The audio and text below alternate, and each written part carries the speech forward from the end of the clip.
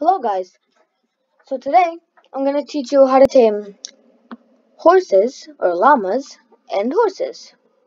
So first I'm going to start with the horse. What you have to do with the horse is you have to ride it, fall off, ride it, fall off, ride it,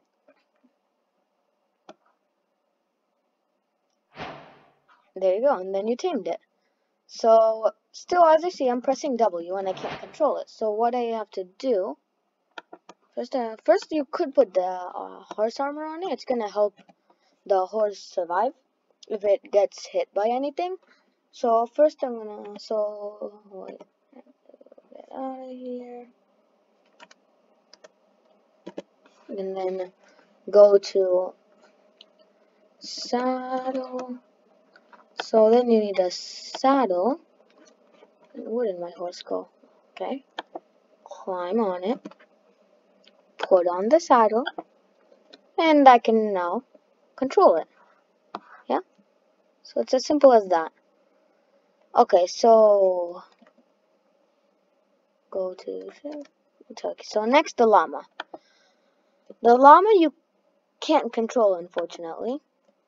You can Wait a sec.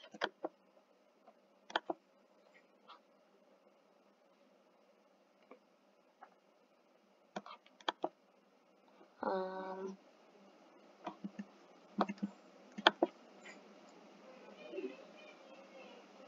yeah, so then you tamed it. So then what you have to do is have to go down